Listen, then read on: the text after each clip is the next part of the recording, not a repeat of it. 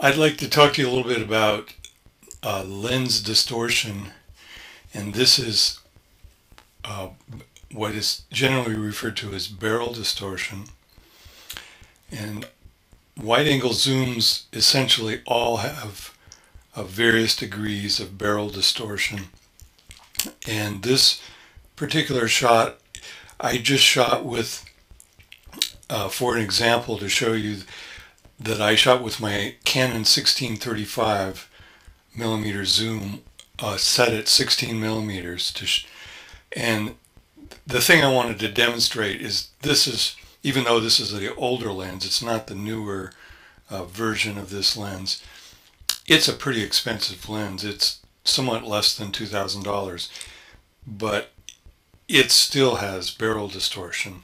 So uh, when you have even less expensive lenses, you're going to get at least as much barrel distortion and perhaps more.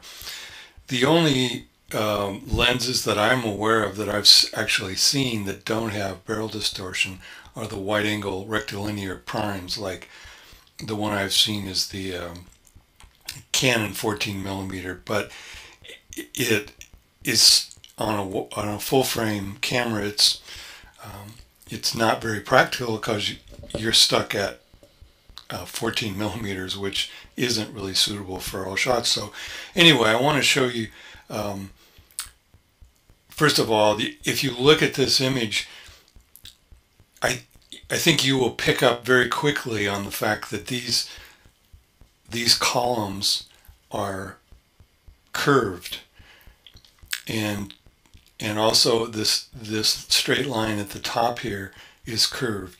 And what happens with barrel distortion is it happens at the edges of the lens so that, for example, the straight lines in here in this window, um, you don't see any barrel distortion because it, it, it essentially always happens at the, at the edges. And sometimes these are really subtle and the eye just picks up on them right away. So you need to be vigilant in removing this. Now the other thing to be aware of is that if I open this very same image in CS5 uh, or Lightroom, it has a feature called lens profiles, which sees this image and says, sees the um, EXIF data or EXIF data and says, oh, this is a 16 millimeter uh, zoom. It's set at 16 and it's got um, so much uh, barrel distortion and it just bam immediately fixes it. Um, and Lightroom as a version 3 does that too if you have the uh, lens profile thing checked. But uh, we're using, this is Photoshop Elements 9, and I'm using it because it's more widely available, less expensive, and I wanted to show you that it's really not very hard to, to fix this. Um, and and what you do, actually, you, we'll take a take a look here, and you can see more closely what the barrel distortion is like if I put a reference line on each side of this column. So you can see there's a there's a fair amount of barrel distortion. So in Photoshop Elements, you just use this um, correct camera distortion filter. Click on that guy. It brings up this screen that's got grids on it.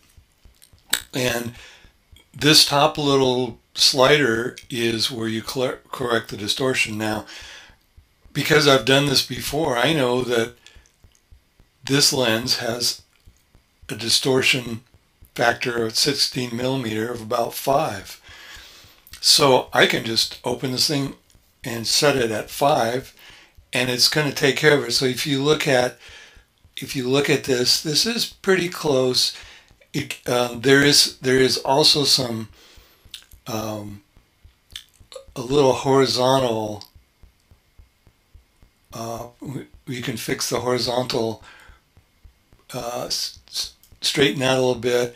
There's a slight bit of uh, vertical to be fixed.